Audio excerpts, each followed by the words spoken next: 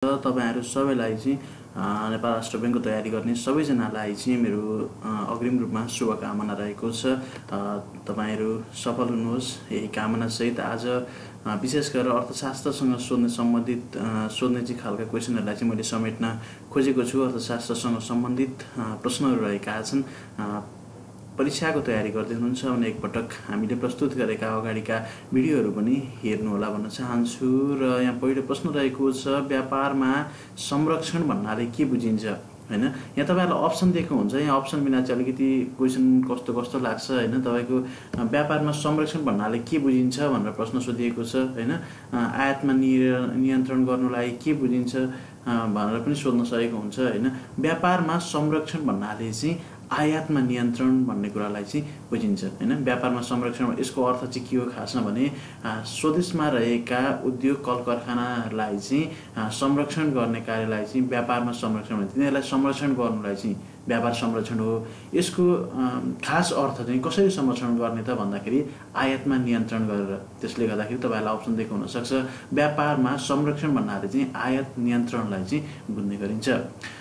प्रगतिशील कर भनेको के हो भनेर अर्को प्रश्न रहेको छ। प्रगति प्रगतिशील कर भनेको चाहिँ आम्दानी बढ्दा करको दर बढ्नेलाई चाहिँ प्रगतिशील कर भनिन्छ अथवा चाहिँ आम्दानी बढ्दै गए पछाडि चाहिँ करको दर पनि बढ्दै जाने हुन्छ जसलाई चाहिँ प्रगतिशील कर भनिन्छ। एकदमै इम्पोर्टेन्ट क्वेसनको रूपमा रहेका छन्। तपाईँहरूले चाहिँ यो अनिवार्य पढ्नुपर्ने हुन्छ। अहिलेसम्म हेर्नुभएको छैन भने पनि यी क्वेसनहरूलाई चाहिँ याद गर्नु होला आउन सक्छ यी क्वेसनबाट होइन? The theory of the moral sentiment sentiments पुस्तकका लेखक को हुन् भनेर अर्को प्रश्न रहेको छ एडम स्मिथ रहेका छन् यो पनि याद गर्नुहोला।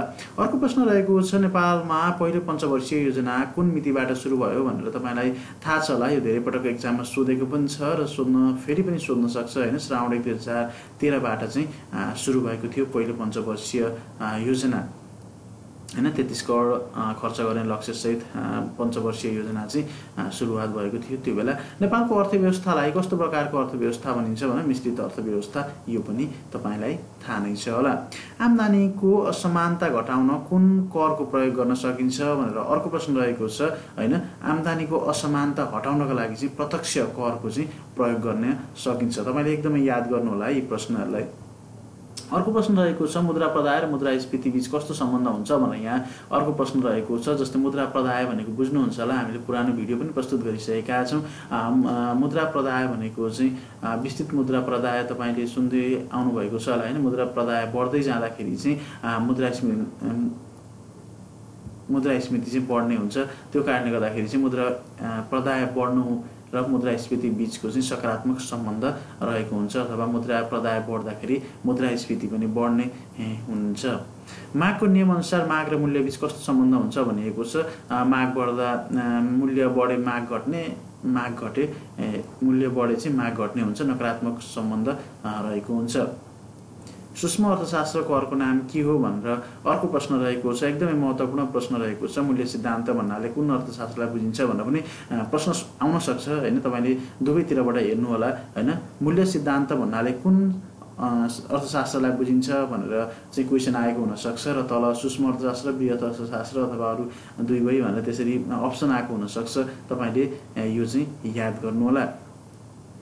अर्को प्रश्न रहेको छ कुनै देशको रोजगारीको अवस्थाको अध्ययन कुन अर्थशास्त्र अन्तर्गत पर्दछ भनेर अर्को प्रश्न रहेको छ रोजगारीको अध्ययन गर्ने शास्त्र अर्थशास्त्र भनेको चाहिँ बृहत अर्थशास्त्र हो। तपाईँले यो पनि ध्यान दिनु होला सूक्ष्म अर्थशास्त्रमा के के पर्छन् र बृहत अर्थशास्त्रमा के के पर्छन् यो कुरालाई तपाईँले ध्यान दिनु होला प्रश्न आउन सक्छ यो चाहिँ क्वेसनबाट।